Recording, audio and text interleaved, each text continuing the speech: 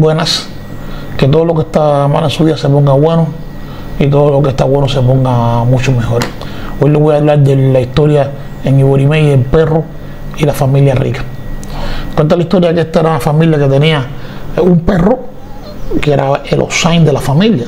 Era lo que le daba la fuerza, la firmeza, la tranquilidad y el movimiento para vivir en la forma que ellos vivían. Esto quería muchos perros, siempre estaban pasando la mano hasta un día que el perro se enfermó.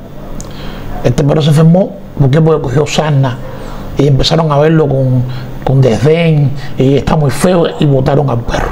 El perro estuvo andando por la calle hasta que llegó al monte y se encontró con Aaron Quinn.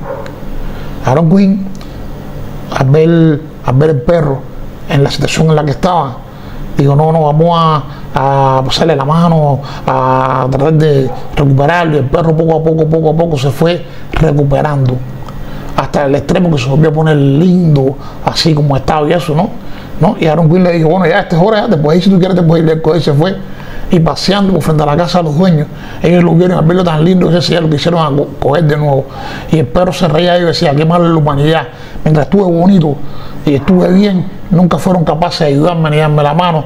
Cuando me enfermé me dejaron solo y me abandonaron. Sin embargo, ahora mira como dice que me quieren y eso. Y el perro se fue de la casa riéndose y burlándose. ¿Qué motivó esto? Que esta familia al irse totalmente, la única protección que tenía, la, la, protección que constituía lo que le daba la firmeza, la fuerza de su movimiento fueron para atrás y para atrás y para atrás, hasta que empezaron a, a, a verse una situación totalmente extrema y nunca más pudieron contar con su sein, que era ese perro. Moralea, ¿no?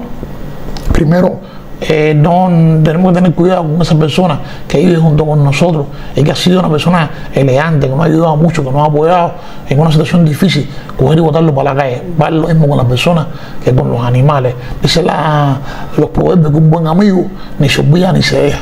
Entonces hay que, hay que ser cuidadosos con las personas que están alrededor de nosotros en este signo y no dejarla así fuera de nuestras y mucho menos después ser tan, eh, sin tan poco vamos a buscar la frase correcta, eh, tener un, un, un, decoro tan, tan bajo entonces cuando está bien volverla a recoger, intentando hacernos pasar personas que son buenas, hablando en este signo y se ve sorbo, las personas pueden ponerte por la calle después recogerte cuando ven que tú estás bien, para que tú lo sigas ayudando, para que tú lo sigas apoyando. Eso es una cosa con la que hay que tener sumo cuidado. Aquí también hay las enfermedades de la piel, hay que tener cuidado con las enfermedades, la piel, enfermedades contagiosas, que se vean por algún ácaro, por alguna, algún parásito, alguna cosa que nos pueda poner la piel en situación bastante, bastante extrema.